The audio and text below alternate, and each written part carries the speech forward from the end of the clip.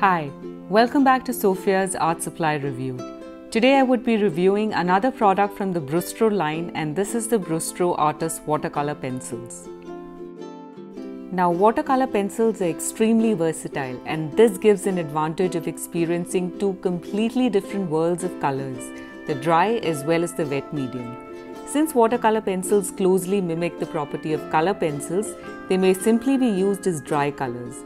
But since they are also water soluble, they may be used as watercolors and this is the property that we would be focusing on in this video.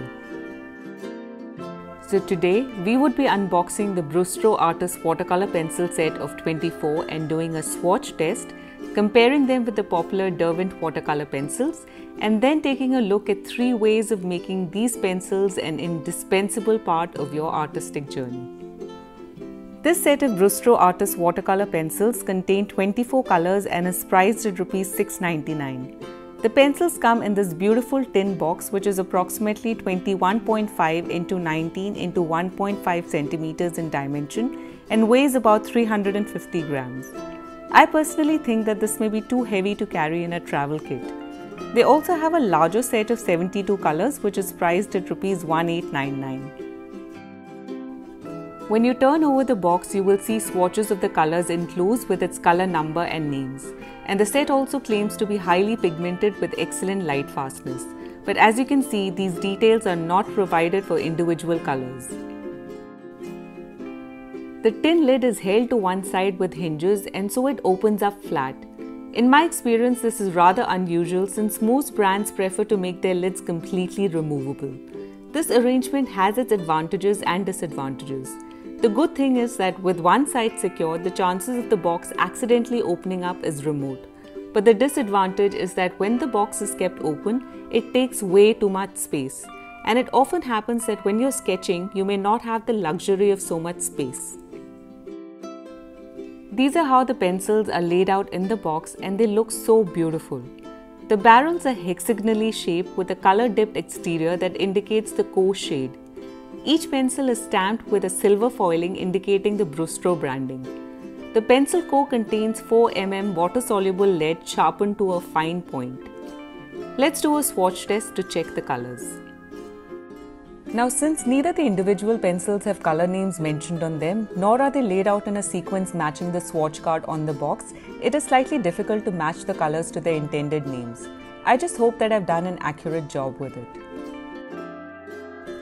While applying dry, few of the pencils require additional pressure to release the pigments on paper.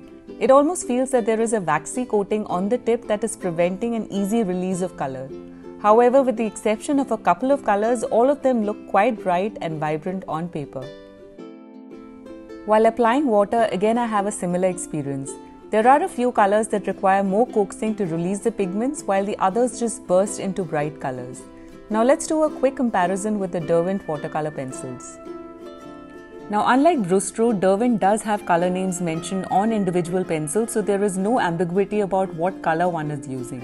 One can also noticeably feel the difference when the pencil is used as a dry medium since the pigments are released easily on paper. I also feel that when water is applied, it's easier to manipulate the Derwent pigments around the paper to give a nice even wash. Overall, after doing the comparison test, I feel that while the Brustro watercolor pencils don't really match up to the Derwent pencils, yet it's a pretty decent set to have for the price that one is paying. Now let's look at three ways that I intend to use the Brustro watercolor pencils.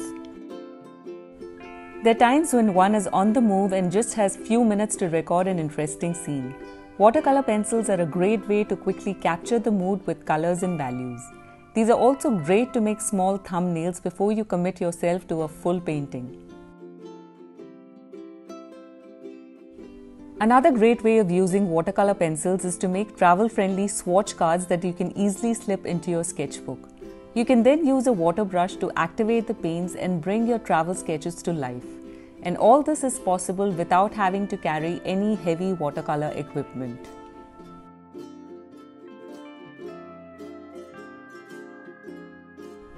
This is probably my favorite way of using watercolor pencils. So here I am using the Daniel Smith watercolor tubes to paint in a few loose abstract tulips. The Brustro pencils are great to create organic lines and strokes, creating effects that may not be possible to recreate with a brush. The second technique I love to use is to scrape the pencil against sandpaper and let them fall on wet areas of my painting. When you blow away the powder, the pigments would only remain on the wet areas, creating a lovely texture. Overall, I think the Brustro watercolor pencils are great to have in addition to a good set of watercolor pan or tube. They're useful to capture an interesting scene with a quick color sketch and can really augment a watercolor or a mixed media painting with interesting textures and effect. As always, do let me know how your experience has been using this set. I would love to hear from you. If you enjoyed this video, do click the like button and do subscribe to my channel to watch an art supply review every Wednesday.